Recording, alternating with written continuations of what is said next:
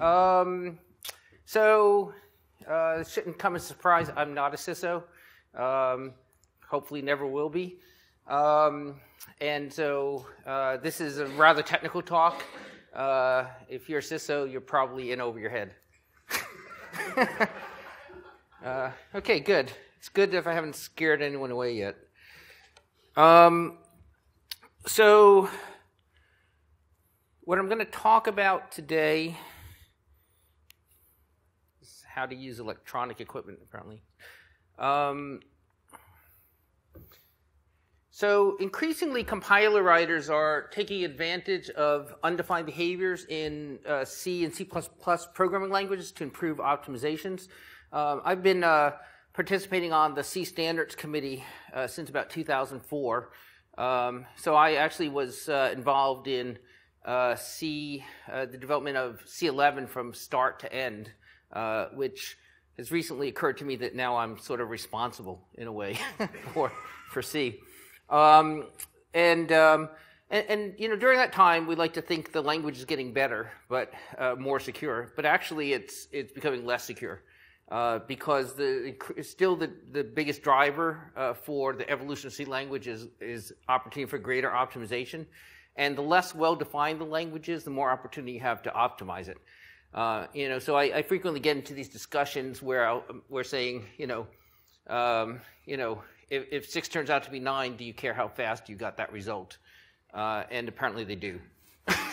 um, so so frequently, these optimizations tend to interfere with the ability of developers or security analysts or security tools to really analyze the code and determine what it's doing, right? And so what happens is there's code that looks like it's there, it looks like it's doing something, but it's actually being removed from the compiler, uh, and then it becomes very difficult for a humans or a source code analysis tool that's not uh, implementation specific to uh, analyze the behavior. Uh, so this is leading to increased faults in software, uh, and uh, those are leading to increased vulnerabilities. Uh, oh, there we go. Except the wrong direction. So, um, so some years ago, I authored this vulnerability note with uh, Chad Dougherty at CERT. This was April 2008. So this was quite a while ago. Uh, and this was about GCC. But maybe in the last two weeks, there was the exact same sort of um, uh, vulnerability was noted in, in the Clang compiler. So I'm not sure if it took them nine years to catch up with how bad GCC is, or uh, they, you know, people just got around to noticing. But um, some of these open source compilers are sort of the, the wild west of, of compilers, and I'll, I'll, chat a little bit more about why that's the case. Um, yep, still going the wrong way. So, uh, undefined behaviors. Um, so I, you know, when I joined the C committee, my goal was to make more C a more secure language, and then you know to change C to make it more secure. And of course, what happened was that C wound up changing me instead. Um, and, and really, um, you know, it's a very it's a very bright group of people who are involved in the C standards committee. And uh, if you give if you give a very bright group of people the set of requirements they, they were given, uh, they produce the C language. You know, if you give them a different set of requirements, they produce Java right? But, um, but C is the language that you get given, given the goals they had. And undefined behaviors, um, you know, although this is sort of misunderstood, or, or they're not there by accident. They're intentionally put there, and uh, you know, the idea is that they're there because they belong there. Um, but one of the mistakes I think the uh, committee made was uh, they, this term undefined behavior is actually too broad because it encompasses really three completely different kinds of things. So the first one is it gives the implementers license not to catch certain kinds of errors that are difficult to diagnose. Um, and, and, so one thing about the committee, it's, it's, I mean, C standards written by C developers, uh, C compiler vendors for C compiler vendors. And they don't like to be particularly hard on each other, right? So it's kind of like, well, hey, Joe, if it's too rough, you know, don't worry about it. Go home, have dinner with your wife, you know, no problem. So, uh, so, the, but this is also meant because there are, you know, there are cases that are NP complete or NP hard that just take too much processing uh, to, to, you know, be, uh, you know, to always know that you're going to diagnose a problem. So consequently, these uh, compilers are not required to diagnose these problems. The second one is to uh, avoid defining obscure corner cases. Okay, so it turns out um, let's say you have int min, smallest signed integer number, most negative number, and you take the remainder after dividing by minus 1. Okay, can anyone tell me what result you get? Okay, large negative number divided by minus 1, what's the remainder? Anybody? If you're thinking this long, you're thinking too hard. Zero? You say zero? Yeah, you get zero. Okay, you divide something by minus one, there's zero things left over. It's kind of the same thing as dividing by one. Okay, on an Intel processor, if you do that, what you get is a segmentation fault.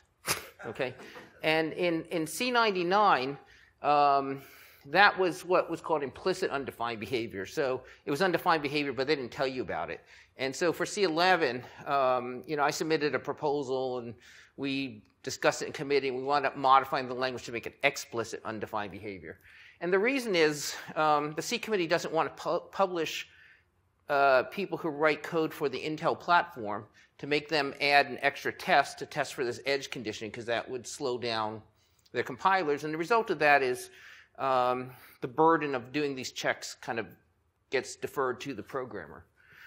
So that's the second reason. The third reason is to identify areas of possible, uh, possible conforming language extension. So here, for example, when you do an fopen on a file, there's a few different modes that you can specify. And if you specify anything else it's undefined behavior, okay? So if you put a Y in as a mode, uh, you know, do you think it's going to crash? Um, absolutely not, right? So, so the reason they did that was, um, you know, the standard has to run on a variety of platforms. Uh, file systems have a lot of inconsistencies and different features that aren't available on all platforms. So that's a mechanism to allow implementations to extend the behavior of their implementation to match their file system. So that's a third completely different reason. But they're all classified as undefined behavior. And a compiler can uh, ignore undefined behavior completely with unpredictable results. Typically, the committee will say uh, the compiler can go off and play the game of life at that point, and that's allowed for by the standard. The second is behave in a documented manner, characteristic of the environment. So, example, when you say int min remainder minus one on Intel platform, it characteristically false. That's the behavior of that platform. That's uh, allowed behavior. Or it could terminate translation or execution with a diagnostic. That's, that's the most you could hope for. So the, uh, the basic concept, the basic design of an optimizing uh, compiler for C is largely the same as for any other language. Basically, you try to um, replace uh, computations with more efficient uh, methods that produce the same result. So, uh, so some, so here's the, you know, uh, gross oversimplification I have. Um, some optimizations eliminate undefined behaviors. we'll call those the good optimizations.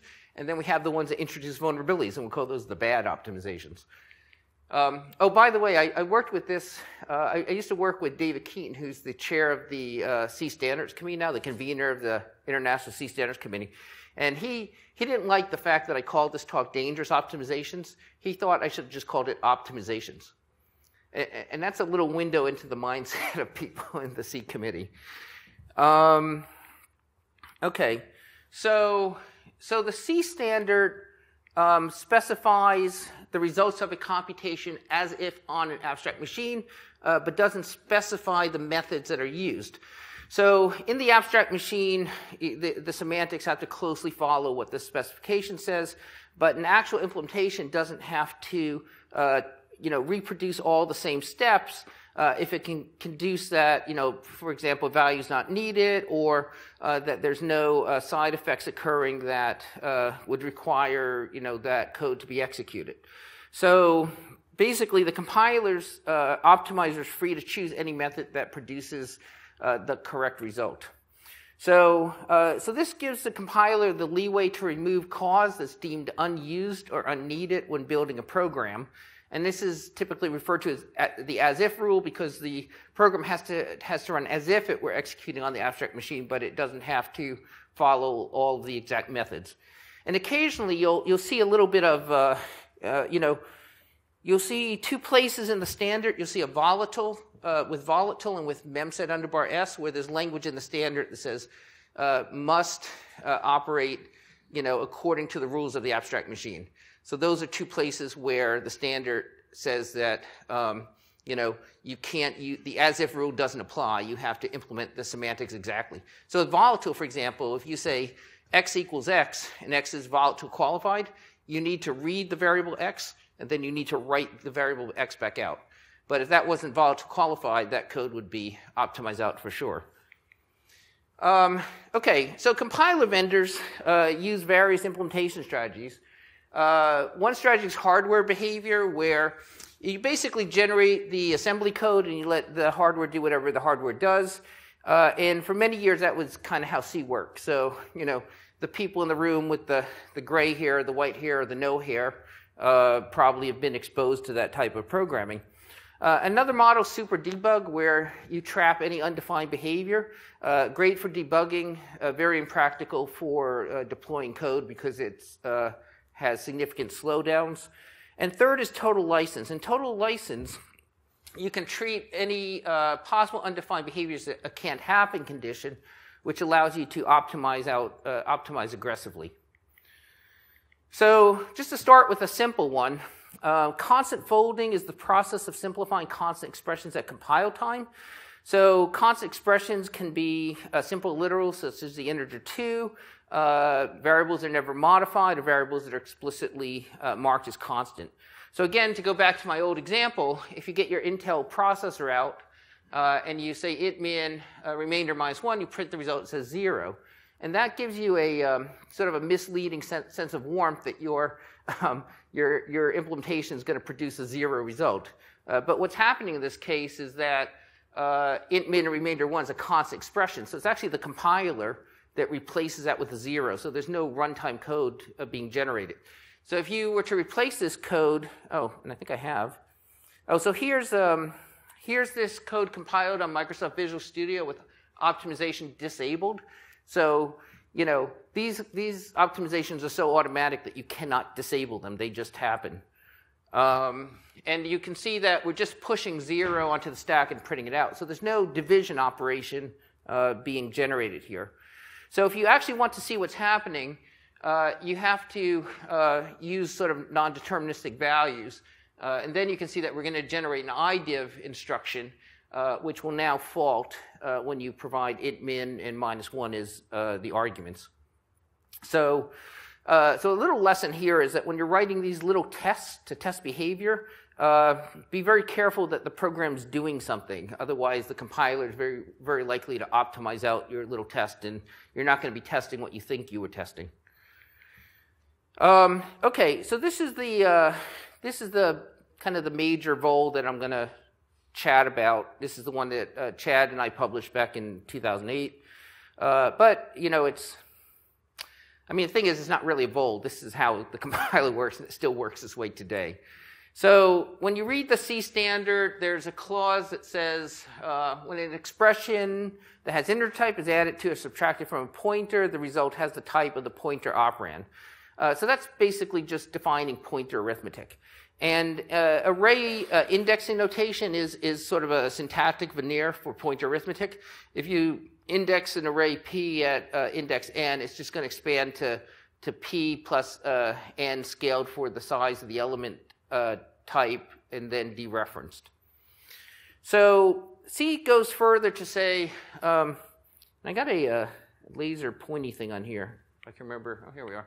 So uh, what this paragraph says is that you can form this pointer and dereference this value, and you can form every pointer uh, up to here, and you can dereference this value. And the C standard requires that you can form this pointer. Okay, this is well-defined behavior. The C standard has to support the formation of this pointer, but if you dereference this value, it's undefined behavior. And if you form this next pointer, it's also undefined behavior. So what the C standard allows is that you can form the one too far pointer, the too far pointer. Uh, and the reason for that was in the early days of C programming, people wrote loops where they incremented the pointer and then tested it to see if it was this one and then stopped the loop. And so the standards committee decided to allow that uh, behavior, uh, and, and so it's, it's now enshrined in the language. Okay, so, um, so a typical thing uh, a C programmer might do if they've uh, taken my you know secure coding in C and C++ course is they might decide um, you know we should be concerned about buffer overflows because they've they've got unintended consequences.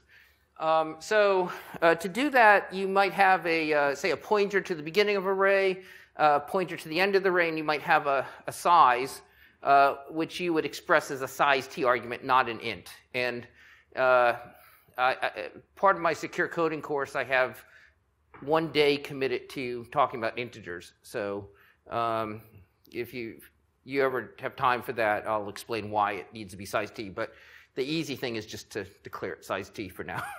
um, and so we'll do a test to see if pointer plus len is greater than max. That means we're trying to uh, to reference a location beyond the bounds of the array.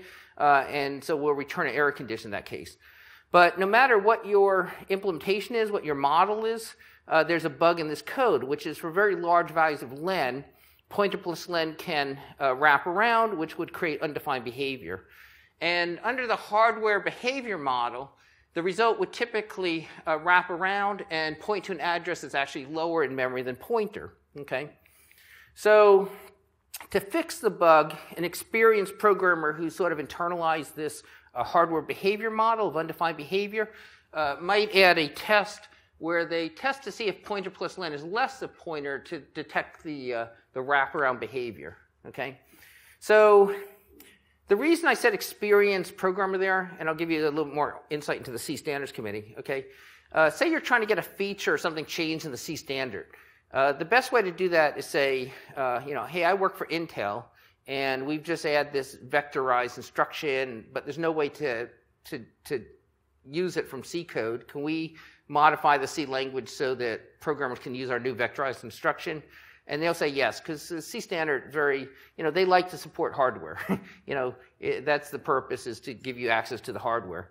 Okay, the second thing you could do is you can go and say, you know, we've noticed that naive programmers uh, frequently make the following error, right? And it turns out the C standard committee does not give a shit about naive programmers, okay? So that argument d- doesn't fly at all, you know? Um, we had an hour discussion about some behavior where no one in the committee knew the answer. We had to spend an hour kind of going back and forth till we could sort out how something worked. And then a guy from Cisco who doesn't have a compiler, he's just got a bunch of developers, said, and you expect developers to know this? And in unison, the entire committee said, yes, absolutely. um, so if you come to them and you say, you know, an experienced programmer such as yourself might make this mistake, uh, you've got a chance of them listening to you. So that's that's why it was couched in those these terms. Um, so so a compiler that follows a total license model like uh, GCC and now Clang uh, may optimize out the uh, first part of this check, leaving the bounds defeated. Okay, so the reason for this is because if a pointer plus an unsigned len compares less than pointer, then undefined behavior has occurred. Okay, so the, the exact undefined behavior that has occurred is that, um, you know, if I take a pointer to this array and I add a size, and now I'm checking to see if it wrapped around, uh, without a doubt, I just try to form a pointer which was outside the bounds of the array. And by this language in the standard, that makes that undefined behavior. Okay? So this, this code invokes undefined behavior. You know, so consequently, uh, the, the compiler can assume undefined behavior doesn't occur, and it can remove that code as dead code. Okay, so that sounds bad, uh, but th- then you, you, know when you look at it, you start to see how this comes about, right? So what's going on here? The optimization is called algebraic simplification, uh, which you know sounds like something we all did in sixth grade algebra. Um, so the, the, the optimization says that uh, optimization may be, may be performed for comparisons between P and V1 and P and V2, where P is the same pointer and V1 and V2 are integer uh, variables. And so total license model allows that to be reduced to comparison between V1 and V2. However, if V1 or V2 uh, overflow when added to P, uh, the results of comparing those two values directly is not the same as doing the arithmetic and then doing the comparison. And so the, one of the fun things about digital arithmetic is that because of possible overflows, uh, computer arithmetic d- doesn't always obey uh, the algebraic identities of mathematics. Uh, so, you know, so it does, there, is ma- there are mathematical models that describe uh, digital uh, arithmetic, but they're not the ones you learned in sixth grade. Um, okay, so if you go back to our, our example, what you'll see is uh, this expression pointer plus than less than pointer is the same. Uh, we can add zero to the uh, right-hand expression without changing that. Uh, and uh, now basically we have a comparison of p plus v1 compared to p plus v2. This can be simplified to a comparison between v1 and v2. And len cannot be less than zero because len is unsigned. So consequently, this code doesn't do anything and the compiler removes it. Okay? And our, uh, consequently, our, uh, you know, our bounds check has been defeated. Okay. So once you're aware of this problem, it's actually quite simple to fix.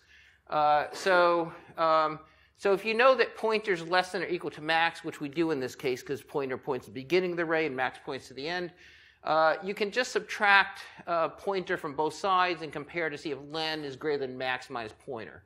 Uh, so this won't wrap around because max is greater than pointer. And consequently, there's no undefined behavior here and the compiler is required to evaluate this expression at runtime to generate the code and evaluate the expression. So, uh, so this code will always succeed, and it's a, it's a very easy fix to make. But you know, developers aren't always aware of this. And in fact, this particular defect occurred in some in the Plan 9 code written at Bell Labs. So you know, when I say experienced programmers make this mistake, you know, those guys are pretty pretty experienced. um, okay, so, thanks to the magic of Google and the internet, uh, you can Google uh, the history of this on like the GCC dev list, and um, you'll see that a lot of people uh, said a lot of bad things to me when I tried to report this problem on the GCC dev list. Uh, so, you know, one thing that developers came back with was uh, they said, well, hey, if you have something like this, uh, this actually works to your advantage because it'll simplify this to a comparison between n and 100, uh, and that eliminates uh, possible wraparound in both those expressions. So this this would uh, the optimization here would eliminate undefined behaviors. That makes it a good optimization.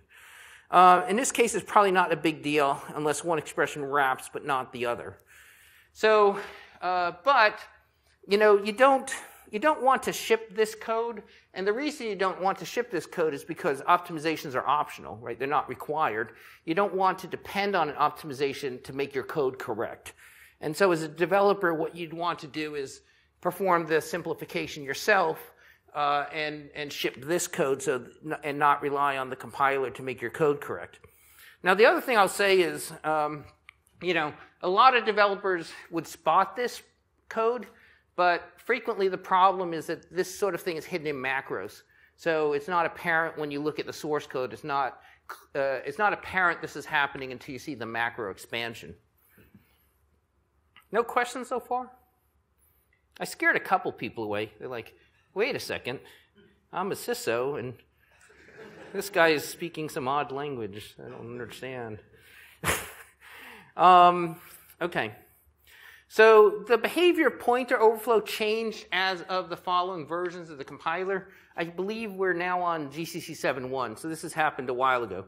But one of the things you'll see here is that um, the, this changed in a maintenance release. Okay, and and when you look at um, when you look at portability behaviors, uh, undefined beha- implementation defined, unspecified behavior, and undefined behaviors are all portability uh, issues.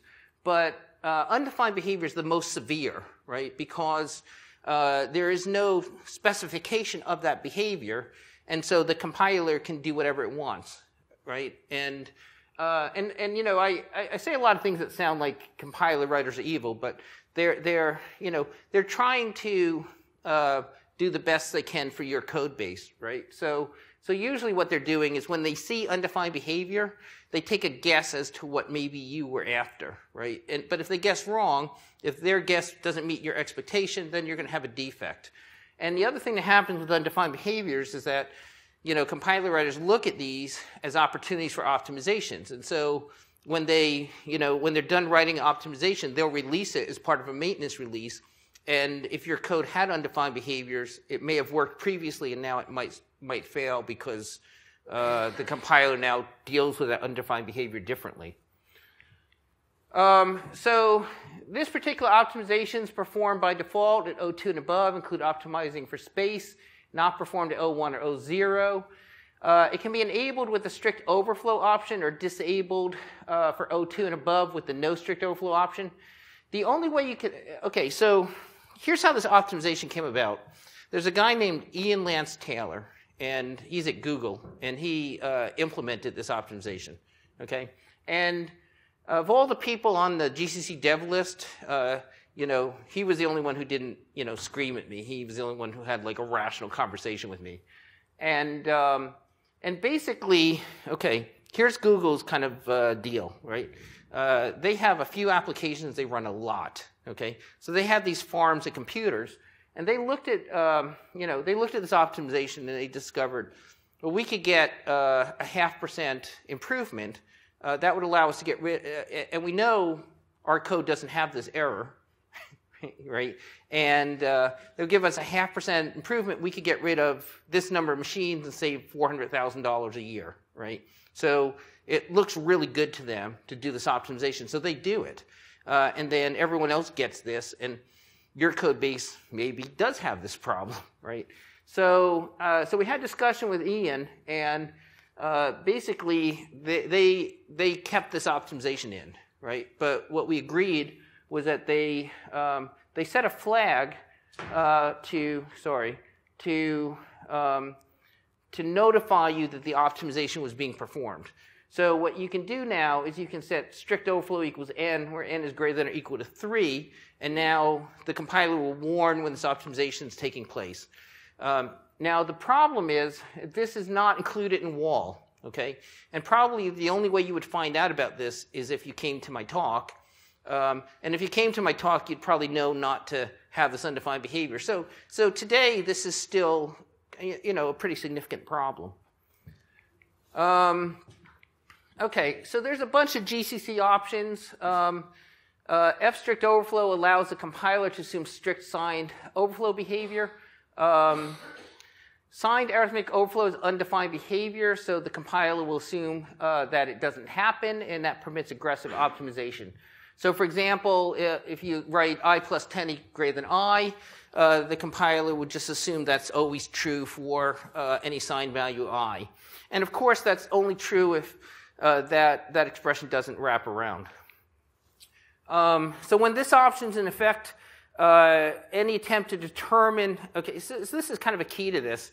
Um, you know, so most, the worst code is code that's written for security, either by developers or by security folks, okay? And part of the reason is um, it's, it's very easy to invoke undefined behavior when you're testing for undefined behavior, right?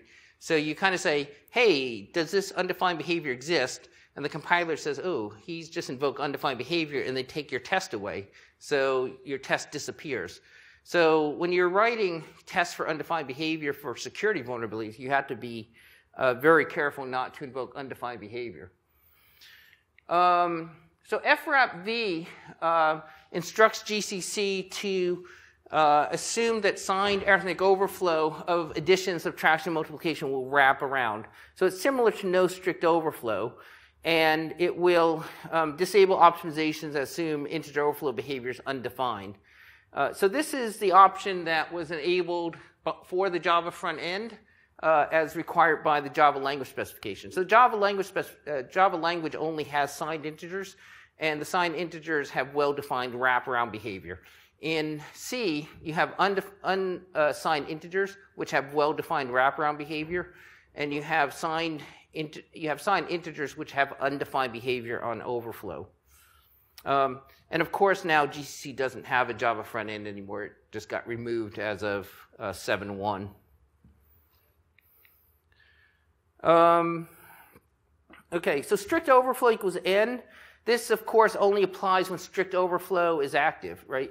So, in other words, um, this flag to diagnose this problem, this optimization, is only going to be triggered when you're performing the optimization. So if you, um, so you have to make sure that you're optimizing your code in order to detect these optimization errors. Um, so there's uh, three warning levels. Um, so an optimization, which assumes signed overflow doesn't occur, uh, yeah. So this is always kind of the problem with C, right? So one of the premises of the C language is trust the programmer, right? And, and a good example of that is, say you take an int and you assign it to a short, right? Uh, the compiler will look at that and think, huh, that looks pretty dodgy, right? I mean, uh, clearly you can't store all the values that can be represented as an int in a short, but uh, we're going to trust the programmer, uh, and we're going to trust that the programmer knows that the range of values being stored in this integer can be represented as a short. We're going to go ahead and make that uh, conversion. And the same thing is true with these, um, this code, right? Uh, these expressions don't necessarily overflow. It depends on the, uh, the, the, values uh, that they take. So uh, at a setting of one, uh, it will warn about cases that are both questionable and easy to avoid, such as x plus one greater than x. Um, with strict overflow, the compiler will simplify this to one. And this is the, uh, the only level you that's enabled by wall. Uh, higher levels aren't and have to be explicitly re- requested. Uh, so strict overflow equals 2 will tell you about uh, other cases where comparison is simplified to a constant. So for example, if you take the absolute value of a signed integer value, um, it will return a negative value for uh, you know the most negative. So if you say absolute value of int min, uh, the answer is int min. You get the same negative value back. Uh, and that's because on a two's complement machine, uh, you can't represent the, uh, the negation of int min. So uh, level three is the, uh, we'll also warn about other cases where comparison is, simple, comparison is simplified. for example, x plus one greater than y being simplified to x greater than zero. And this is the lowest warning level, which will warn on the uh, specific optimization I was describing earlier that eliminates the, uh, the bounds check. Uh, strict overflow equals 4 will also uh, warn on other simplifications like this arithmetic simplification, which I would think in almost all cases you would want to have this. Uh, and then 5, uh, you know, we'll warn about cases where the compiler reduces the magnitude. so, um, so we've uh, some of the work I've done in the C Standards Committee. We uh, we introduced a C analyzability annex into uh, the C11 standard. It's a normative but optional annex. Uh, so not everyone has to implement it. Um, I know for certain the Oracle, you know, the old Sun C compiler guys, they're implementing the annex. So what we did was we defined, we added a couple definitions. So we defined out of bounds store and we define uh, bounded undefined behavior as um, undefined behavior that doesn't perform an out of bounds store. And then we uh, define the term critical undefined behavior, was, which is basically the old style of critical undefined behavior. So there are, by the way, 200 explicit undefined behaviors in the C language. Uh, and all 200 of them used to be critical undefined behaviors. So the requirement is that basically, um, besides a a, short list of critical undefined behaviors. Uh, all undefined behaviors have to be bounded undefined behaviors if your compiler implements Annex L. Uh, and so now, instead of there being 200 undefined behaviors you have to worry about writing out of bounds, you're, you're limited to nine. Uh, and the nine are, uh, are this particular list, the sorts of things that usually result in that. Okay, so uh, to kind of wrap this up, and I, uh, the wrap up here, sometimes uh, my recommendation surprises people at the end of this, uh, which is uh, okay, uh, ignore undefined behaviors. Um, that's not a surprise. um, you know, uh, having undefined behavior in your code doesn't mean your code is wrong, but it means that. Um, you know, the compiler can change and, and a future version of your code might be wrong. And so it's best not to depend on undefined behaviors. Um, I would recommend trying to find and eliminate dead code instead of letting the compiler do it. So if you can use a strict overflow flag uh, to indicate it's rewriting the code because there's undefined behavior, like that example of you know n plus 100 compared to you know n plus 3 or whatever you know do the do the simplification yourself so you're not relying on the compiler uh, to do the optimization um, so so we've seen that um, some optimizations can eliminate undefined behaviors while others will introduce vulnerabilities. So uh, a lot of uh, you know security people uh, who don't quite know what they're talking about will you know well first you know most, a lot of people will ignore this completely right not know anything about this. But then you learn a little bit about it and then you think oh we should ha- enforce wraparound behavior. And frankly that's not the recommendation i would give. And the reason is because you're turning off all the optimizations, and many of those optimizations are fixing your code, and some of those optimizations are breaking your code. But generally speaking, if you just turn them off, your code is going to get worse um, in terms of quality and security, and it's going to get slower at the same time. So my recommendation is go ahead and build optimized code but turn on the warning flag to find out where the compiler is doing these optimizations for you and take a look. And if it's optimizing on an assumption that's different than your assumption, uh, your assumption's wrong. and you need to revise your code. Um, and uh, finally, you know, tell your vendor to implement Annex L and use it because it's cool. And uh, finally, um, the C standard is a contract between compiler writers and programmers, but really only compiler writers show up for these, and me, and the guy from Cisco. And so we've had votes that have been 30 to 2, where Cisco, you know, Cisco and me vote the same way and everyone else is against us. And, and sometimes the reason is because, well, that's hard to do, uh, you know, so they don't want to do it. Um, so the contract's continually being amended. Uh, and you know, unless more security conscious groups sort of get involved, the tendency is to is to eliminate guarantees from the standard. It's kind of like you know getting divorced from your spouse and telling your spouse to you know just handle the the divorce and you'll be happy whatever the outcome is. Um, you know that's not going to work out good for you, my friend. um, okay, so I'm done. Uh, I'll take some questions. Yeah, sir. Yeah. Um, yeah, I teach at conferences. I did a three day course here on secure coding in Java, but we also come on site and deliver on site. And the on site deliveries are generally more popular just because it's easier to fly me somewhere than it is to fly 30 people to a conference. But uh, yeah, let me know and we can come, uh, come to your site and deliver that for you. Uh, sir?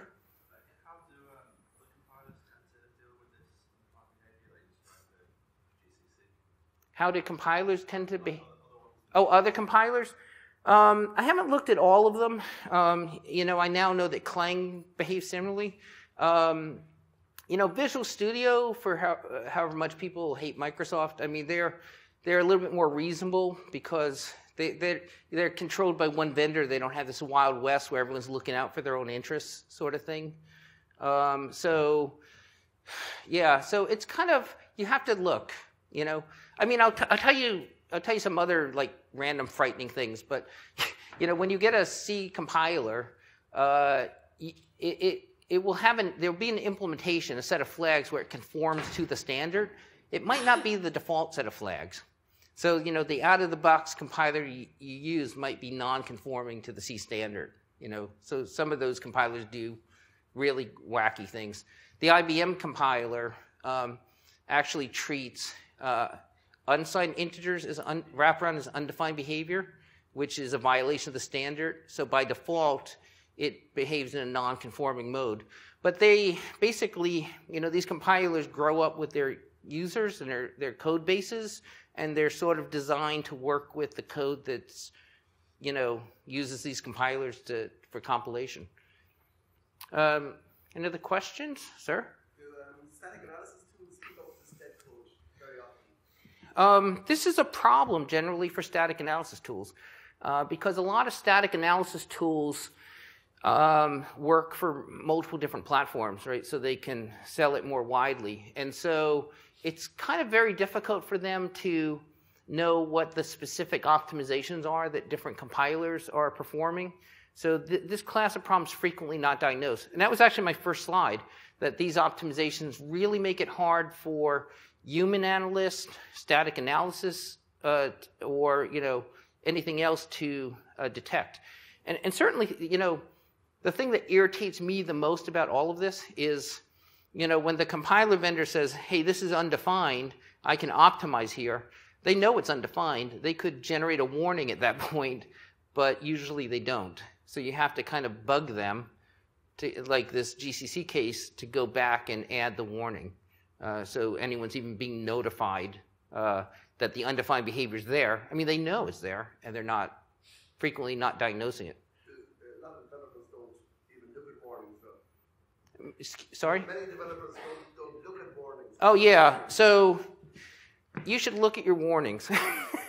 I, I, mean, so I, uh, I've had a lot of customers who are going to go buy Fortify or Coverity or some expensive analysis tool, but they aren't, you know, they don't have their warning levels set and aren't paying attention to the warnings. Um, I, I, have done a study uh, while I was at CMU, and, and really the compilers are more effective at diagnosing these type of problems than the analysis tools. So before you go, you know, I, I think, you know, you should use static analysis tools, but before you buy them, you know, set your warning level to the highest level and address those warnings. And, you know, address them smartly, because, right, a lot of people will go in and say, well, if I put cast all over the place, it'll shut the warnings up. Okay, now your code's worse than it was before, because you have all the same problems, but now you're not getting diagnostics anymore. Okay, any other questions?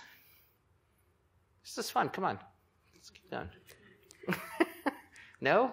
Yeah. But new developments, you were, you were saying in the beginning that the C language has actually become more insecure. Yep. Are there now maybe new developments in the standards committee uh, that add new, more secure features to the C language?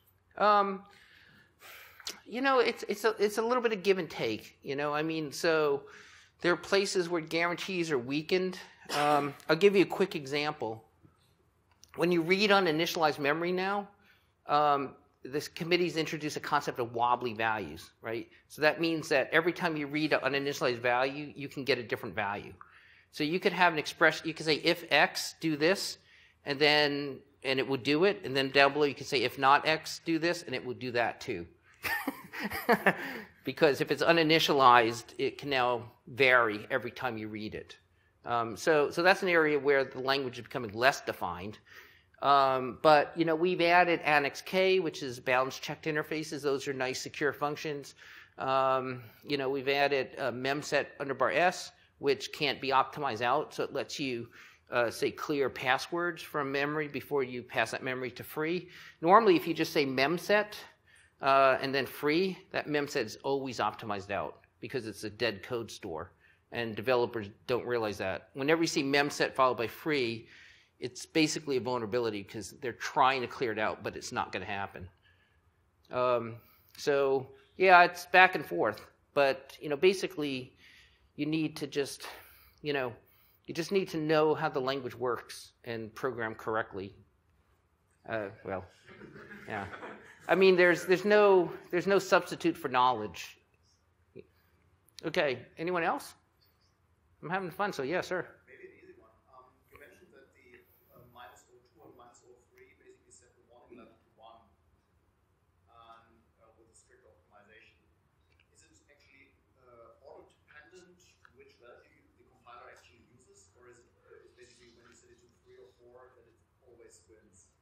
Oh, well, I, I, think what I was trying to say with those slides is, um, um, is that you, if you want to test for the existence of these optimizations, you need to do two things. One is you need to have the strict overflow flag set, and you also need to have the optimizations being performed.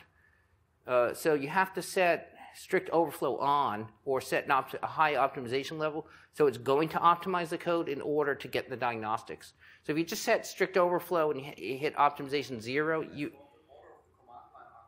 Oh, the order doesn't matter, but you need to specify both. If it's not optimizing, it won't diagnose the optimizations.